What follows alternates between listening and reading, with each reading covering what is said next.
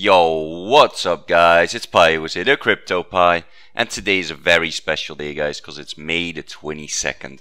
Alright, and exactly 8 years ago a programmer called Laszlo Hanyecz, right, he ordered two pizzas from another dude called that uh, lived in Jacksonville, Florida and he paid him 10,000 bitcoins guys, right?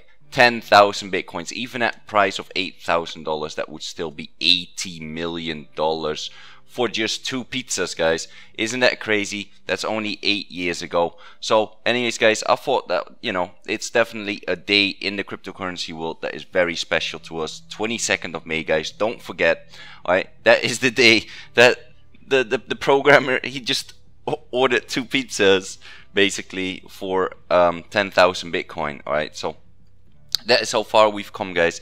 Anyways um, let's go into the charts and you know take a look at really what's going on alright as except for uh, you know these these fun facts that happened. So um, yeah um, if we look at the six hour guys this is if this actually bounces here um, I'm happy okay? Um, and I'm gonna tell you why.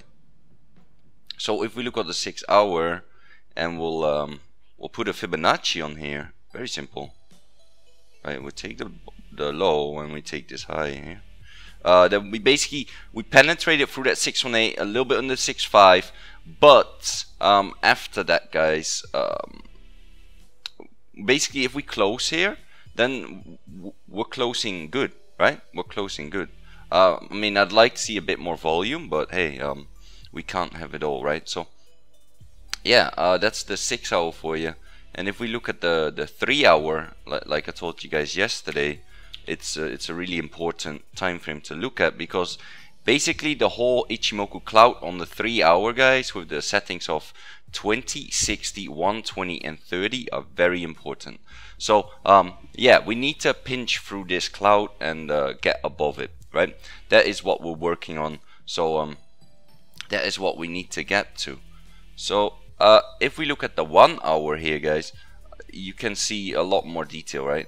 Uh, basically, we had this, this, well, you could say this is a one, and then you get a two, and then a three, four, and a five. So uh, we're gonna look at how we can potentially get this, uh, this three filled, right? Uh, I, I don't think we'll get all the way up here with that, um, with only this, but uh, we can definitely get to a good point here. So a 1, a 2, and a potential 3 up here.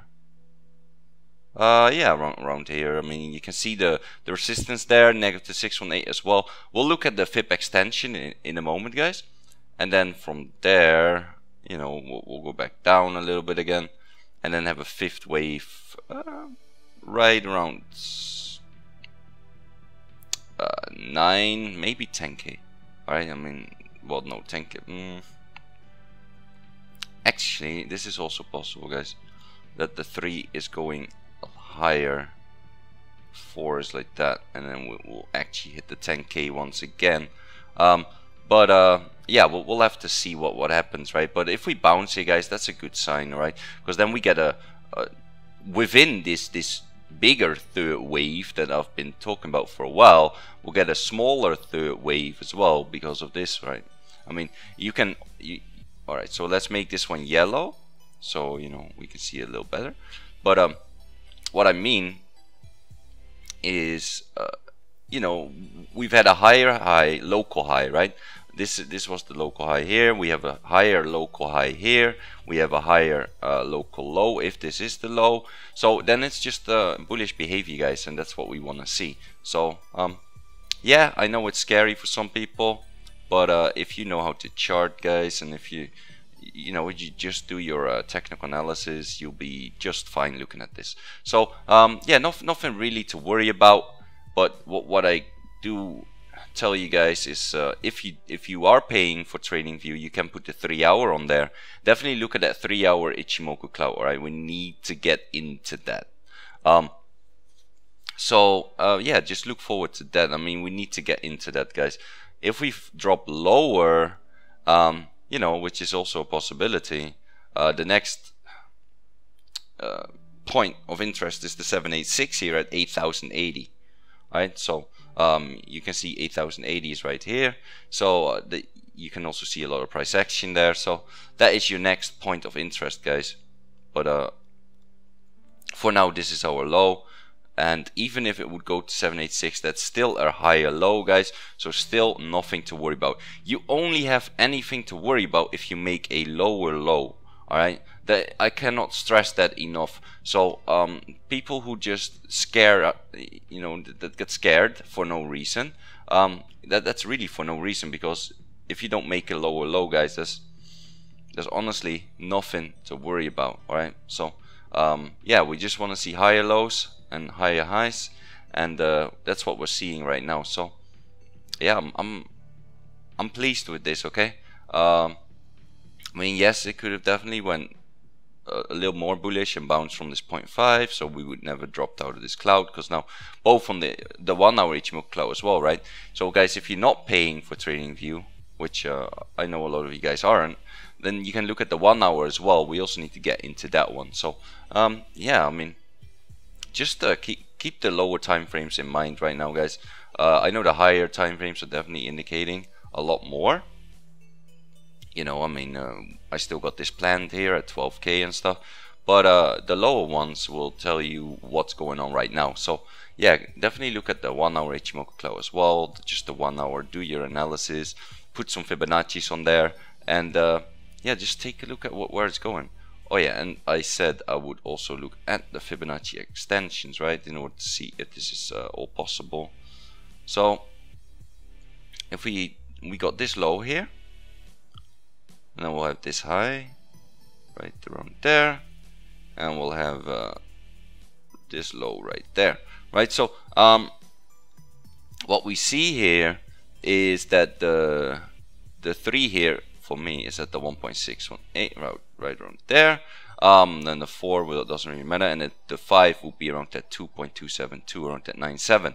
Um, that is a possibility. Another possibility is a little lower, guys.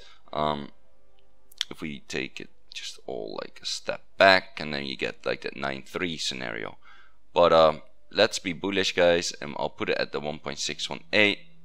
Um, put this one right there and uh, put this at the 2.272. So um, that is the more bullish scenario, and then we got the less bullish scenario, which not very, but it's just less bullish, and uh, I'll put that one as well. So right around here, 9.3. So yeah, that is just uh, my roadmap right now, guys. Then from there we'll get another retracement and you know, it, it, will definitely take some time, guys, to get to the 12k. All right, we're not just going there in in a matter of uh, one or two days. Okay, um, that's just not how it goes. It will definitely take some time, and uh, that that's fine. That's how the market works. All right, so that is just how the market works, guys. You have to get used to that, and uh, I mean, yeah, it's uh, it's not looking bad. Okay, so let's take a look at the six hour here. Oh, uh, we have a lot of stuff going on here now, right? Uh, I can get rid of the fib extension for now. Um, six hour.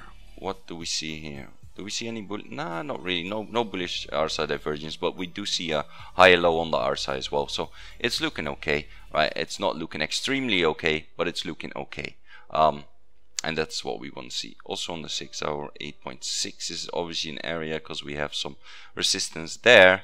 Um, and uh, th th there's the Ichimoku cloud. And I mean you see that the if we get above this Ichimoku cloud it's we just go a little bit above and then we'll go back in it. And then yeah I mean it's this is looking pretty realistic the 1, 2, 3, and then 4, and then 5 for the 9.3. And the other ones are looking a little bit more bullish, right, that I showed you. But uh, I like to be conservative, guys, so I'll uh, I'll keep this one on there, alright? So, because I'm, I'm more of a conservative trader for sure. I'm not one that's going to tell you, like, you're going to get, you know, 2 300%. Uh, not even on like altcoins. I mean, it's possible, but to be conservative, I would say you would get 100 to 150 percent, right? Because there's always conservative marks and there's like out, out outrageous marks, right? So um, yeah, that that is what we're looking at, guys. So, anyways, guys, also if you're not in my Telegram yet, join up with the Cryptopy's Block where you can ask me any question, you can ask other people questions. It's just a great chat box to be in. And uh, thanks for this chart here, Crypto Boss. It looks uh, looks pretty good uh, on Zilliqa. So yeah, um, guys, people are putting some nice charts here. And then we had another one from Crypto Boss about Ripple with the triangle. So yeah, I love to see you guys' charts, right? Um, I hope more people start charting in the channel because um, I just love to see it and I'll definitely give you some comments and see you know if, if it looks wrong to me I will definitely point it out you know but this one I, I cannot really find a flaw in there so you know it's it's a possibility so yeah um, also guys join up with the Cryptopy's feed where I post all my videos I post about upcoming ICOs um, yesterday I participated in Phantasma I sent my 10 Neo, got my tokens. Unfortunately, some people had trouble receiving their tokens. You know, they had some trouble with the contract or something, so it's postponed. Um, but uh, I'm sure, you know, they said these people will still have 24 hours to get them when it's up. So uh, yeah, that's looking okay as well. And then uh, after that, they will announce when we can put our uh, other 50 Neo in for the the the whitelisted people for the ICO, right? So um, yeah, Phantasma. I'm definitely uh, glad I got my tokens at least, uh, at least for the 10 Neo, and uh, it, it, wasn't too hard. I mean, I had some errors, but uh, that that I can't blame Phantasma for that. Not even for uh, their fault right now, because um, it's not their fault, guys. It's uh, Neon's fault, the Neon wallet, and they're, they're working on it to resolve it. So yeah, it, it will be back soon, and uh, people will be able to participate. So yeah, guys, um, that's pretty much it. Both telegrams will be in the description below. And if you enjoyed this video, please like and subscribe. Hit that post notification button. And if you got any questions at all, leave a comment below. And I'll see you guys in the next video.